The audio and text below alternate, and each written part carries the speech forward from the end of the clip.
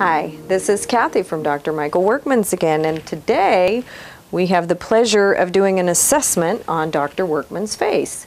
And we're going to talk about some of the things we talked about in our earlier video, static lines, lines of expression, volume loss, um, and kind of how those come into play on a real person.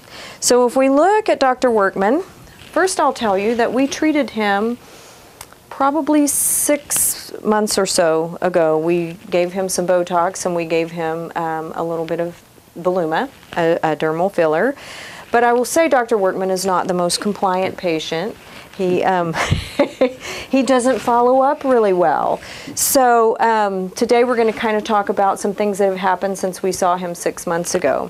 First, we can expect our, our Botox or Xeomin to last anywhere from three to four months. Um, some people will say, well, mine lasts six. We know that the actual physiologic action is three to four months. And the, some people will have more muscle atrophy and they'll have kind of an effect for longer. But you can plan to retreat between every four, three to four months, um, unless you're one of those lucky people. Um, also, we did uh, add some volume to Dr. Workman's mid-face here. He was quite a bit saggier, and this side's looking still pretty good, but he's lost a little more volume on the, this side, and it's pretty subtle. I don't know if the camera totally picks it up. So today, we're going to treat this side with a little bit of Voluma, and we'll probably do a little bit more on this side, but for purposes of the video, we'll, we'll film this side.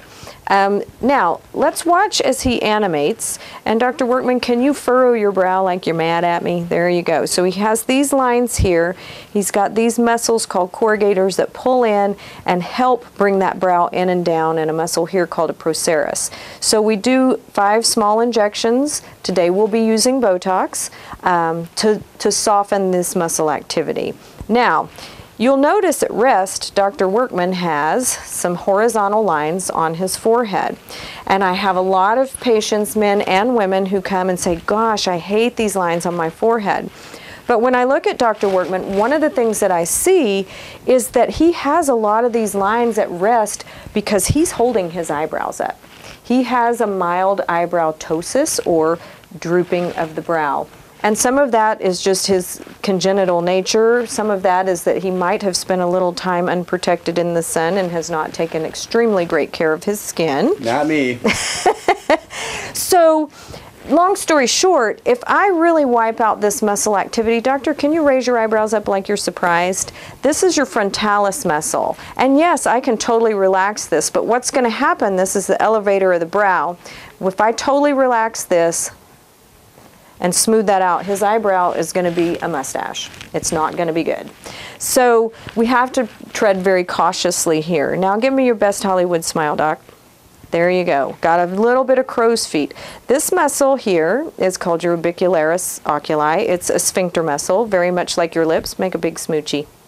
There you go. So any muscle that's a circle constricts.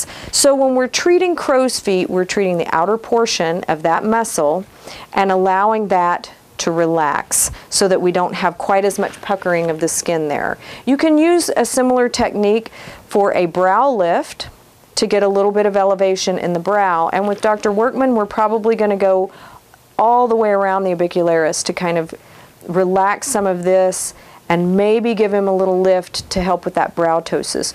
We're going to do a very light treatment across his forehead because we don't want to risk that brow ptosis.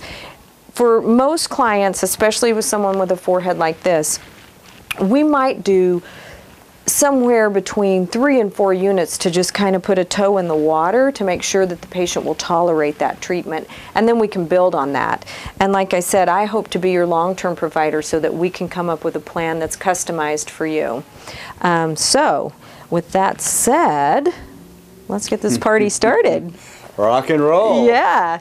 So we'll start with his Botox and get that going. And I will share a little secret that not the world knows that Dr. Workman is not a huge needle fan. So for him to um, tolerate this little demonstration is a, a big move on his part. And I'm very proud of him for being brave today. Might give you some chocolate when we're done. Oh boy. Things are looking up. a little sucker for being a good boy when you have Yeah. your shots. So we're going to Okay. cleanse the skin with just a little bit of rubbing alcohol. Fortunately, he didn't wear a lot of makeup today. Sometimes we have to take some of that off. Is there anyone you don't use Botox on in terms of allergies or? Um, with Botox, there's real low instance of allergy. Anyone with any sort of neuromuscular disorders, um, Guillain-Barré, myasthenia gravis, multiple MS, um, we would not use Botox or Xeomin. Uh, there's another neurotoxin called uh, Dysport that part of the protein that stabilizes that is a milk protein. So a person with a milk protein allergy, Dysport would be contraindicated. Um, we never treat pregnant or nursing women or anyone who's attempting to get pregnant. There are no FDA studies about aesthetic treatments with pregnant women, but there never will be because who would take that risk, you know? Um, that's the time to just relax and be a mama. All right, so go ahead, doctor, and relax and Okay. just kind of bring your head back. Yep, there you go. And we start with one tiny injection. Close your eyes between the eyebrows, and here we go. Poke. And he's doing awesome. On women, we start kind of a ballpark of 20 to 25 units for the glabella, which is what we call this area. For men, like Dr. Workman, I've treated him before and I know that 25 units is a drop in the bucket. So we're treating him with 50 today because he's got a really strong musculature of his face. Yeah. I think one of the concepts we like to tell patients is that um, the muscle is similar to a gas tank, and some people have bigger gas tanks, Yep. and we actually uh, we don't know until um, after we've filled up the tank how much you'll use. So Yep. um, Go ahead and furrow for me. And we have you animate a little bit so we can see exactly where, go ahead and relax, exactly where those muscles are pulling from. And we do this, you know, there are, you know, any, any procedure is not without risk.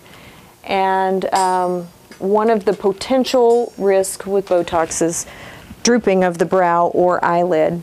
The way we prevent that is first and foremost, I know what I'm doing and inject you properly. And um, then you, as a patient, don't rub, massage, stand on your head, do anything crazy for at least four hours after treatment. Because we want the product to stay where we put it. We're injecting in specific muscles and we want that product to stay in those muscles. I think another teaching point, and it just uh, uh, came to me, is we don't like to have people take aspirin or anything like Motrin or ibuprofen Yep. that will cause you to bleed. And I do take a baby aspirin a day, and I forgot to tell her. So I think I But you're well doing really good. You're not. Oh, really? Okay. Nope. And typically with Botox, if we see a bruise, it happens instantaneously. Okay. Sometimes with the dermal fillers, we'll see, you know, you, the bruise will continue to to grow. Um, part of the reason I think usually with the Botox, if we get a bruise, it's because we've nicked a little capillary or a little vein, and it instantly leaks. And we usually see it almost instantaneously. So we're going to just tippy toe across his forehead. Go ahead and relax. And I'm going to stay really high on the forehead because I know he's using this part of his frontalis to keep those brows up so that he can have his eyes wide open when he's doing surgery. Yeah. The other thing, at some point, we're going to probably switch over to part two here, so that we can get um, the whole thing in.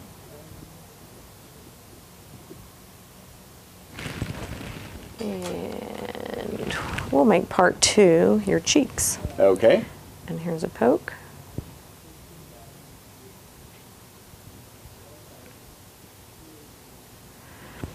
And when we're done, typically with a new client, we'll do a treatment and then I like to have them follow up in one to two weeks and we can, you know, be incredibly critical. If it's not exactly what you want it to be, if you feel your brow position is off, too high, too low, we can always make micro adjustments in your treatment to accommodate for that.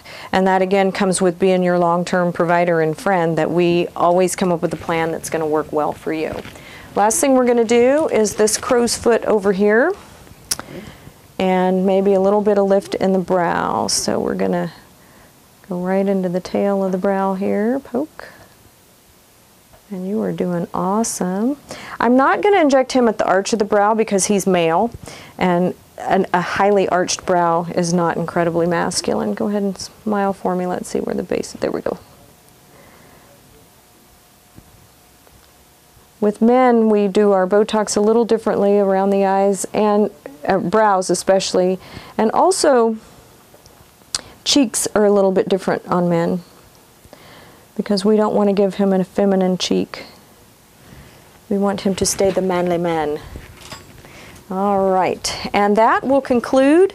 Most of his treatment will go on and off camera treat the other side of the crow's feet, and then we'll rejoin you soon for the uh, volumization of his cheeks.